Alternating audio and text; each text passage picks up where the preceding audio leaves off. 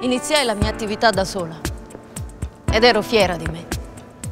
Andava bene ed ero fiera di me. Da sola ho cresciuto i miei bambini ed ero fiera di me. Ma poi sono arrivati loro. Ero sola, ho dovuto pagare e non ero più fiera di me. Ma ora ho capito, mi ero sbagliata. Non sono sola, siamo in tanti e sono di nuovo fiera di me, perché non pagare il pizzo è una questione d'onore.